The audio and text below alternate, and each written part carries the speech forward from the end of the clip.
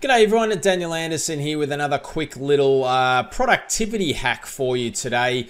Um, now, as we know, uh, once we start utilizing and using Microsoft Teams for a lot more than just chat and file sharing and meetings, um, and it really is becoming uh, the central place to do our work and where we start our day there's a lot of information coming in um, that we may miss or we may need to get back to a lot of the times because we don't have time in the moment in our current flow of work to be able to respond or read or follow up with. So there's a great little feature here that I want to uh, bring your attention to, and that's the ability to create a follow up task in To Do directly from a Microsoft Teams message.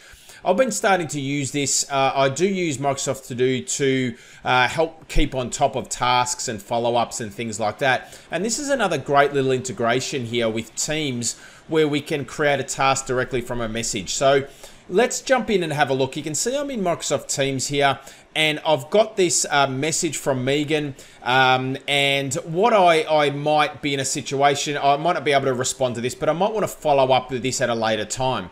So what I can now do is click the more options, go to more actions, and I can actually create a task for me to, uh, to remind me to follow up on this message. So if I click on create task, it's going to pop up a, a, dialog box here and I can create it in any list that I've got in Microsoft To Do. So you can see here I've got tasks, I've got two lists for review and also to follow up. Now this one here, I just want to I just want to review this message. So I'm going to place it in my list for for review. I'm going to mark it as important and I'm also going to set a due date for me to review it by the end of next week. I'm now going to add that task.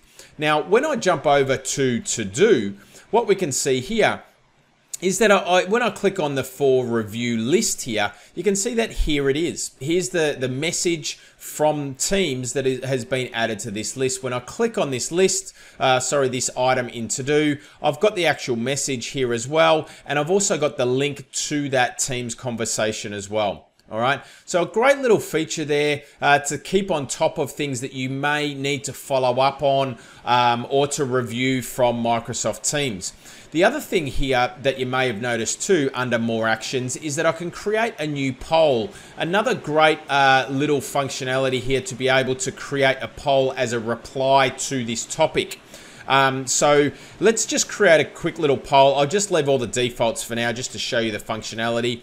We'll save that. We'll get a preview. We'll send that now um, as, a, as a message. And you can see that that's been posted as a reply to this conversation here. And people can now submit their vote.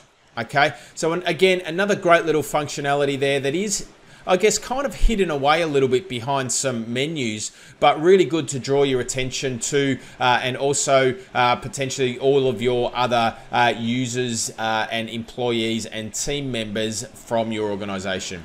So I hope those two little tips uh, bring you some value today. Start using it, uh, create some tasks to follow up on from Teams messages, and also reply back with some polls. Thanks for watching. See you next time.